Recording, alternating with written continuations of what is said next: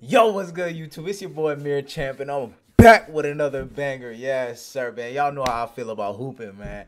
And this, this, man, this is what I've been waiting for, man. This is what I've been waiting for. Somebody to call, some some real hooper to call Nick Briz trash ass out, bruh. For real. Dev done called you out. You over here calling Duke Dennis out. You calling it flight out? Like flight, bro. What you calling flight out for a hundred thousand for, bro? Like you weak. You weak. All his videos, bro, is just for show, bro. It's just for the camera, bro. He like to bully people on the court, bro. He don't be playing no real competition. So let me see this, bro. Let me see this, bro. We about to watch this video, bro. Dev the Lab is on go mode and has called Nick Briz out, man. This go out to auto. If you ain't seen Nick Briz videos, go watch it.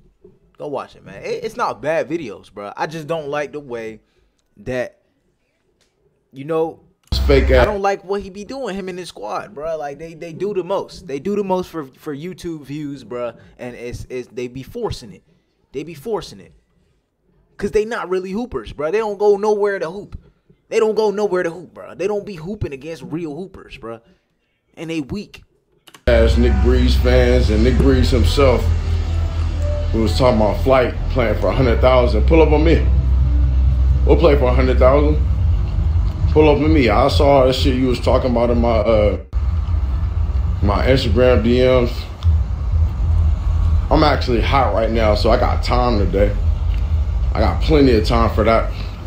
Put a hundred thousand on it. We'll play for that. I got plenty of time today. I got plenty of time for that. And a hundred thousand is cool. Like you was flexing that that uh that car you had and all that stuff. Let's play for that. And we can do that. I got nothing else to say. Pull up on me. Why you doing all this fake ass YouTube shit, taking advantage On of the soul. culture? On soul. I'm Bruh. gonna tag your ass in this shit. You thought I was like kind of one of them fake ass niggas.